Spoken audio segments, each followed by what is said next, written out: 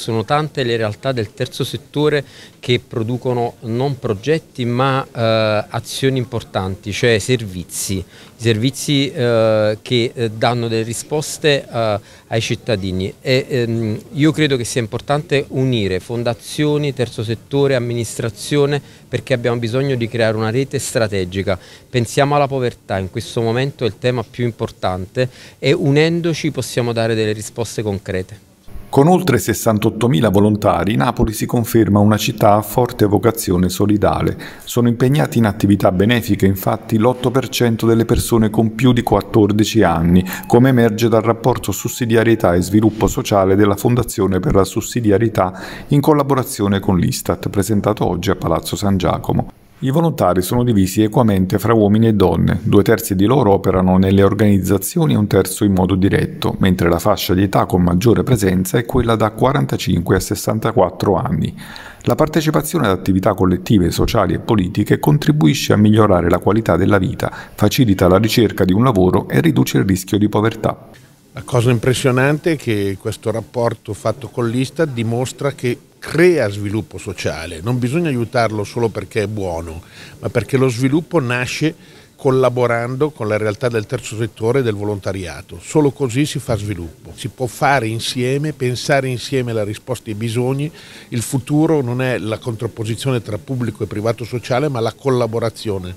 Già a Napoli ci sono enormi casi di questo tipo, Rione Sanità piuttosto che Maddaloni a Scampia, bisogna andare in questa direzione. L'importante è camminare paralleli, cioè essere veramente affiancati perché eh, solo, solo, con questo si riesce ad avere una, una, buona sinergia. Fino a qualche anno fa invece erano due eh, binari che non si incontravano mai, invece il, il, grosso cambio degli ultimi anni è stato questo anche per le aziende. Devo dire che negli ultimi tre anni in tutto questo si sono inserite anche le aziende che danno una mano alle organizzazioni, alle fondazioni che a loro volta sono in rete con, con tutte le varie istituzioni. È diversi anni che siamo su Napoli, eh, otto anni con un, una mensa, un social market a Bacoli che adesso apriremo anche a Napoli social market. Eh, un terzo dei pacchi viveri della fondazione, oltre 5.000 pacchi viveri a, eh, per cui 5.000 famiglie vengono sostituite dal progetto Arca Napoli perché comunque ci sono uh, situazioni di, uh, di, di, di, estrema povertà in molti quartieri.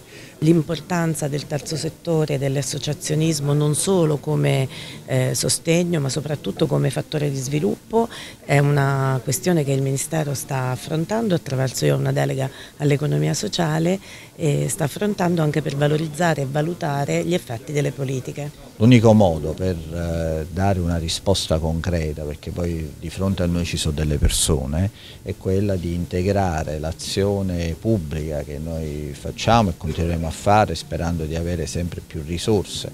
Noi sappiamo i numeri della spesa sociale del nostro comune che sono nettamente inferiori rispetto a quelli che avvengono in altre aree del Paese e con quella che è l'azione del terzo settore facendo un'azione di sussidiarietà, mettendo a sistema tutte le energie che ci sono sia pubbliche che private per dare delle risposte concrete a dei problemi che sono concreti e anche l'incontro di la presentazione del rapporto di oggi lo, lo dimostra che senza questa integrazione è molto difficile riuscire a dare una risposta concreta ai problemi.